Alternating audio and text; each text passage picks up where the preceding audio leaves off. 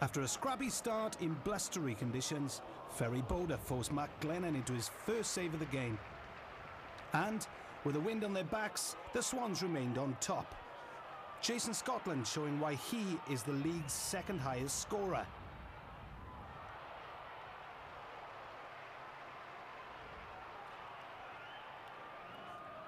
On 20 minutes, the Swans broke from midfield. Ferrie Bodde threading the ball through to Jason Scotland, who in turn found Andy Robinson. The little Scouser's quick feet saw the shot saved by Glennon. Roberto Martinez on a cold day in Yorkshire, already thinking about next week's trip to Spain. Then, on 45 minutes, Ferrie Bodde's corner was eventually met by Jason Scotland. Fired home his 20th goal of the season.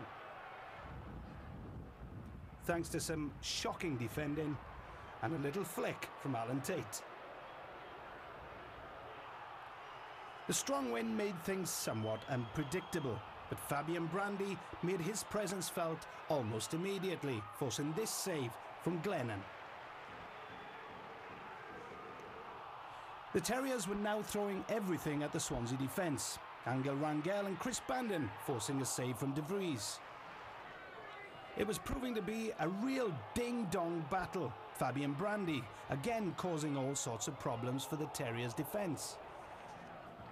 Ex-Wales international Rob Page was booked twice in six minutes. The second yellow turning red for a foul on Jason Scotland.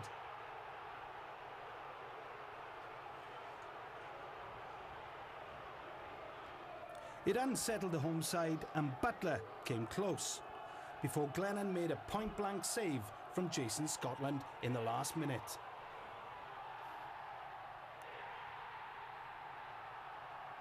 Scotland was hurt in the process and became yet another casualty for Martinez, as Swansea stretched their unbeaten league run to 18 games, finished Huddersfield nil, Swansea City 1.